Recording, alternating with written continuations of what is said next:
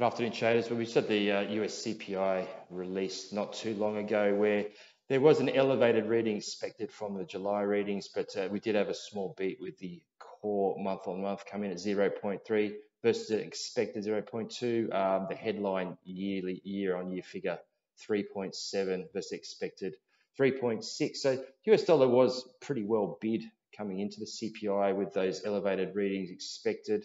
Um, the this is a pretty important figure. It was the last CPI before the Fed's meeting next week.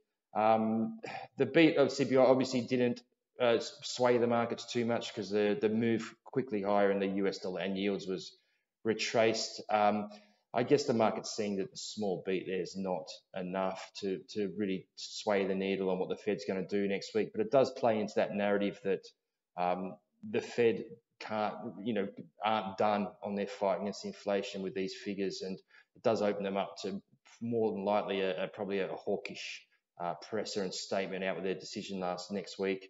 Um, on the technicals, you saw the dollar index rally up to that 105 resistance, that major resistance level there before uh, retracing quite violently from there. Uh, the, the 10 year yield's also jumping above 4.3 before turning around in tandem with the dollar. So a couple of technical headwinds for the dollar there with that big resistance at 105 and yields having a lot of trouble over that 4% level. Um, it does open us up next week for a pretty important Fed meeting. The markets are pricing in only a 5% chance they're going to hike, but um, it'll be all eyes on the presser and statement after this figure today.